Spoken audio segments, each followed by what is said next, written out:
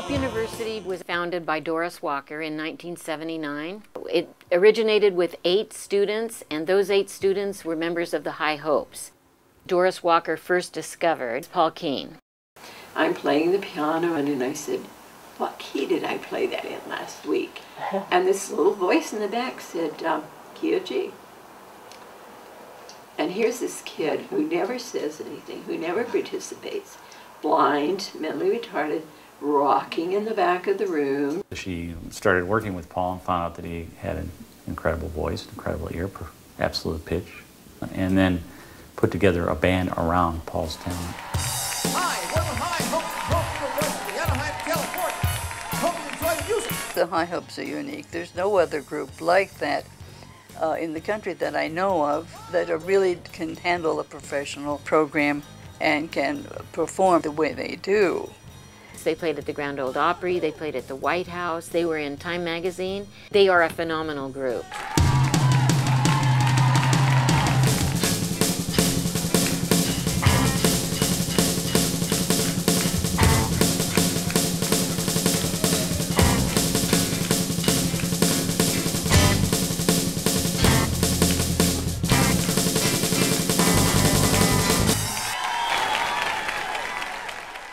Hope University is a wonderful haven.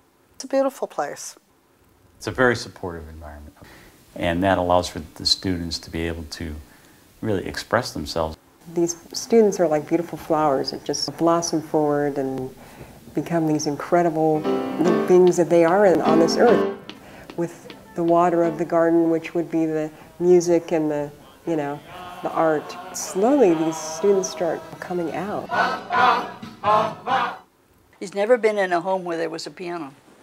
He said, can I play the organ? And I said, oh, sure, come on in. And sat down and began to play.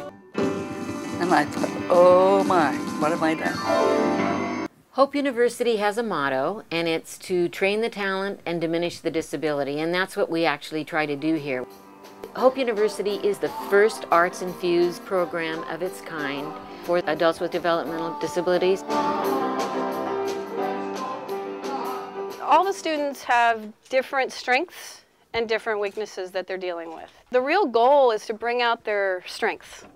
Hope gives them a place to kind of draw out what's inside of them and even sometimes they get surprised at what they can do like wow you know i can do that ours is just an excellent excellent school for performance we have a bell ensemble we have a choir but over the years we've expanded to include the visual arts we've now have drama, we have dance, as well as the academics and the therapies. Here at Hope, we teach a lot of basic art techniques. Some of the work is reproduced on greeting cards, pillows, business card holders, and tote bags. The proceeds go back to the school and to their own program. It's really exciting for the student. To sell your work is a big achievement. So that gives them all uh, self-confidence and self-esteem and just a feeling of being accepted. From uh, the time they were very, very small, they've faced challenges. For maybe some of them the first time in their lives, they feel like they have something to contribute. She loves and cares for the individuals as if they were all her own children. And um, she expects the staff to do the same. These individuals are so loving and welcoming um, as is, but when you add a staff that is so talented and so caring and so nurturing to the mix that it, there's no other place like this.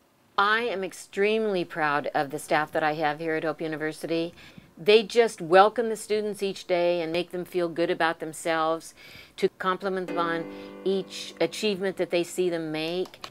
I always tell my staff when I hire them that uh, parents are will always be concerned about their children, but if they have a child with a disability, that's going to magnify. This gentleman over here is my son Tom. He gets to perform. That's really what he likes to do. I dance, I boogie, I shake, and I have a good time with it. It's been a blessing for everybody. What Hope University has allowed Ben is to be himself. When he started here, it was like a new person. He, he just blossomed. I've seen so many families say, I don't know where I would take my child if it weren't for Hope University. We're thrilled that we have a wonderful program like Hope University where he can be nurtured and, and uh, in a safe environment. He is an artist. His is just a combination of color and motion.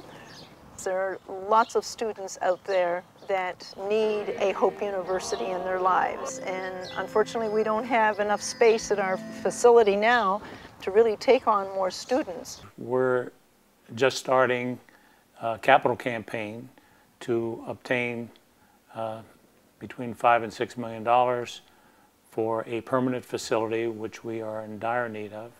The quarters we're in right now are really small. We're bursting at the seams, literally. Rooms are, are storage areas as well. So each day we have to remove uh, many, many things from each classroom. And then at the end of the day, all those things have to be put back in there. Hope University has one major goal right now and really a dream, and that is to have our own facility. You know, we've been uh, in existence since 1979, and it's, it's about time that we have a permanent facility that we can call our own.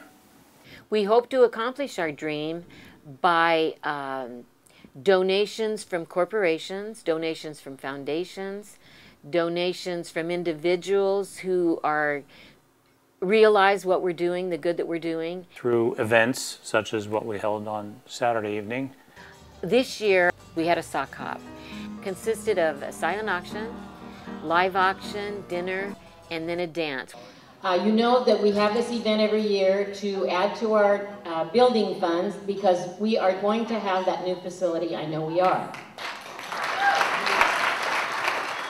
It's so important that hope continues because they're, they are that seed of hope.